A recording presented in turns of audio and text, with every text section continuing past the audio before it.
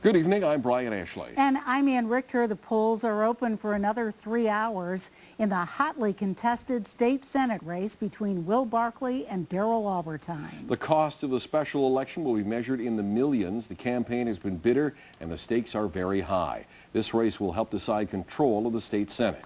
We start our coverage tonight with 7 News reporter Jessica Kane, who is following voter turnout. She is at the polls at the Watertown Dulles State Office Building. Jessica?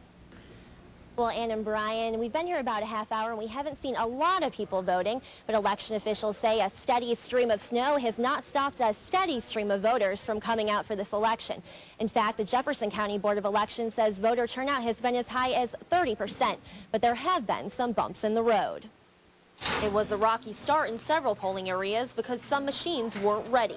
Hours before voting started, the New York State Court of Appeals ruled that Will Barclay has the right to be listed on the Independence Party line.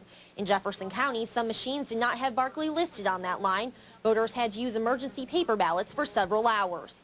Everybody's doing everything they can to make sure everything's done right, and we're all, you know, doing 100% what we can do to make everything turn out the way it should. Then came another challenge to voters, the weather. Steady snow pelted the North Country, causing slippery roads. North Country, I lived here all my life. This is nothing. I think it's important if you don't vote, don't complain. The St. Lawrence County Board of Elections describes voter turnout as great. And Jefferson County Board of Elections Commissioner Sean Hennessy says when the totals are tallied, he expects voter turnout to be high, snow or shine. Well, I think all the advertising, all the media that uh, coverage that we've had thus far is really telling people to get out to the polls, show their civic duty, show their support for the troops, and get out there and vote. Well, no matter how many people come out to vote today, there are still at least 2,300 absentee ballots still to be counted. And if you haven't voted yet, you have until 9 tonight. Ann and Brian. All right, Jessica Kane, thanks very much. On this special election day in St. Lawrence County, there was some confusion at the polls today. That's because the 48th Senate District does not include all of St. Lawrence County, just a portion of it. It does include the city of Ogdensburg, where these folks were casting their votes today.